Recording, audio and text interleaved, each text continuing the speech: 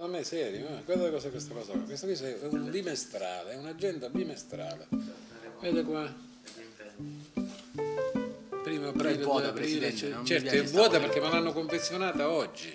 Ah. Ho trovato questa vecchia agendina, gli ho detto di fare per, per la verità le due cose molto sottili, invece sono spesse. Io questa cosa me la comincio a portare, siccome non so usare, eh, devo dire, internet o quant'altro, fino alle 23, dalle 8 alle 23 segno appuntamenti e poi me li calano. E manca la notte. Presidente. La notte, eh, perché non siamo in campagna E cosa andiamo? Eh, Presidente, siamo il- la- tutta l'attenzione è puntata su questi rapporti eh, presunti tra eh, politica e, e alcuni esponenti della mafia. Eh, se lei tornasse indietro, c'è qualcosa che non rifarebbe? Ma guardi, io le dico una, una grande presunzione, che se io incontro un mafioso, gli contagio un poco di legalità, piuttosto che pretendere un mafioso di contagiarmi l'illegalità eh, o, la propensione al crimine. Numero uno. Seconda cosa, io lo dico e lo ribadisco, tutti i rapporti che mi si addebitano sono rapporti politici con gente che poi magari ha cominciato a delinquere o quant'altro. Così come vi dico con molta onestà e franchezza, se io, allora io non leggo mai la cronaca giudiziaria o la, la cosiddetta cronaca nera, se io ho incontrato un signore non so che costui è stato accusato di omicidio piuttosto che di associazione a delinquere di stampo, non lo so proprio. Non- quando certo oggi si, si accosta il mio nome a, a- a- un signore e, e si scrive accanto a lui una relazione della, della DIA, chiaramente vengono i brividi. Io del mio comportamento rendo conto. Cos'è il concorso esterno? Avere aiutato l'associazione mafiosa eh, a potenziarsi? Ma scusatemi, ho mai raccomandato un loro uomo per un'assunzione? Ho mai raccomandato oh, un loro imprenditore per un appalto? Ha fatto il nome del figlio di Bevilacqua.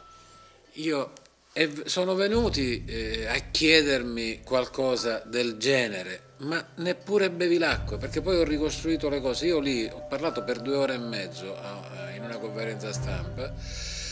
Ho saputo che questa è una vicenda sulla quale la procura o le procure, non so quale procura, ha indagato, archiviandola, perché poi ho ricostruito questa, questa intercettazione. E- È mai pensabile che Bevilacqua chieda dopo due o tre giorni al suo interlocutore a chi deve rivolgersi il figlio per l'assunzione?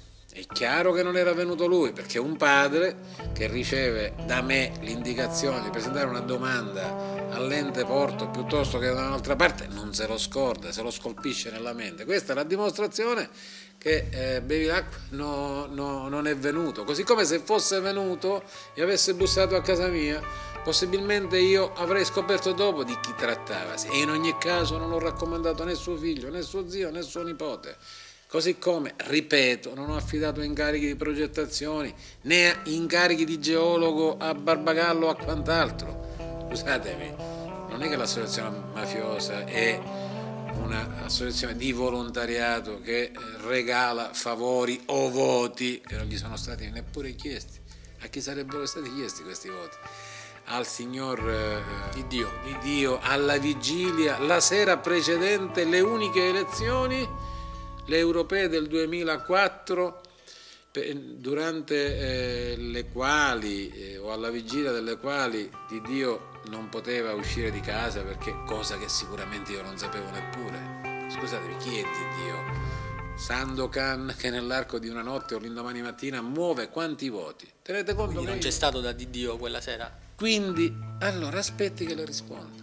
Io mi sono piazzato a quelle elezioni a 50.000 voti dal primo più indietro e 50.000 più avanti del terzo. Non, ha- non potevo superare il primo con l'apporto di chi che sia. E se di Dio o chiunque fosse stato così potente elettoralmente sarei andato a trovarlo un mese prima, un anno prima, piuttosto che il giorno prima. Ho detto cento volte che, così come a casa mia, abito alla fiera alle 8 di mattina, c'è il massimo del movimento delle persone, quindi se devo incontrare una persona non lo faccio venire alle 8 di mattina, ma semmai alle 8 di sera. Nel distributore Agip, di cui è titolare di Dio qualche suo familiare, Dopo mezzanotte c'è l'inferno di camion. Andate a provare, andate voi, fate giornalismo di, di inchiesta. Andateci, andate d'estate alla vigilia delle elezioni europee che si tengono sempre a giugno, vedete quanta gente c'è. Ci sarei andato, se permettete, a casa sua. Sono entrato, probabilmente lo ricostruisco così. Potrei negarlo. Chi, chi lo può provare? Il contrario. Una, una conversazione telefonica. Ci sarò andato tante volte. Sua moglie cortesemente mi ha offerto il caffè perché non se l'ha fatto pagare, ha insistito qualche volta, una persona gentilissima. Non è escluso che un'altra volta ci sia stato lui e mi abbia chiesto di sedermi a un tavolo, non a casa sua, che sarà a Castel di Udi. Che sapete quanti voti pigliava quando era nel pieno delle sue forze e, e libero di fare quello che voleva di Dio? Un centinaio di voti a Castel di Udi, che tutti gli uomini di riferimento di Cosa Nostra a Castel di Udi, Carramacca o Palegonia informatevi, si sarà informata la procura. Mai mi hanno dato una mano o sono stati minimamente accostati al mio mondo. Noi giovani, eh, Presidente, noi giovani ci confrontiamo con la realtà siciliana. Praticamente quello che tutti abbiamo sperimentato è che senza una raccomandazione non si va da nessuna parte per quello che mi risulta a me da Catanese, lei comunque è stato un punto di riferimento, eh, le sue segreterie anche elettorali, un punto di riferimento per, tutti, per un fiume di persone che comunque venivano a chiedere qualcosa. Eh, eh, secondo lei questo sistema può aiutare noi giovani nello, nello, sviluppo oppure ci sta condannando giorno dopo giorno? Assolutamente no, non ci, non ci aiuta nello sviluppo. Allora. Lei vuole mandare un messaggio a, so, a Toto Cuffaro in questo momento, che ha fatto una lunga intervista. Sì, gli voglio dire che mi spiace enormemente, tremendamente che lui abbia ricevuto questa, questa terribile condanna. Mi dicono che comunque dire, vive con grande forza e con grande serenità questa, questa terribile esperienza. Sono certo che lo fortificherà. Ho letto che appena finisce la sua esperienza carceraria si dedicherà all'agricoltura, lo dico con molta franchezza Presidente, invece suo fratello? Mio fratello è una vittima di questa storia, di questa vicenda, è una vittima di questa storia. Ora per la verità sta cominciando a comparire questa storia, come se fosse un mio strumento per rapporti più o meno illeciti. Ho chiarito per mio fratello che si è trovato in quel pranzo, ah, per giunto tutto con le mogli, tutti, si va a un summit eh, eh, di mafiosi eventualmente con le mogli.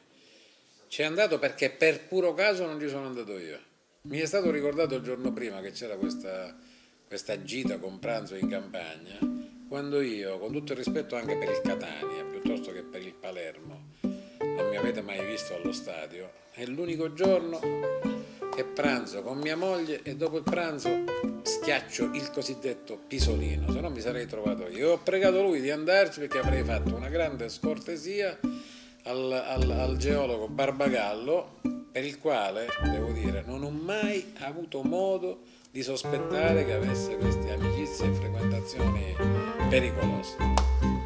C'erano anche i conigli? C'erano anche i conigli? C'erano i conigli selvatici e devo dirvi con molta franchezza che saranno stati scongelati perché a ricostruire la cosa eravamo in piena caccia chiusa. È giusto? E onestamente un coniglio scongelato meglio fresco, no?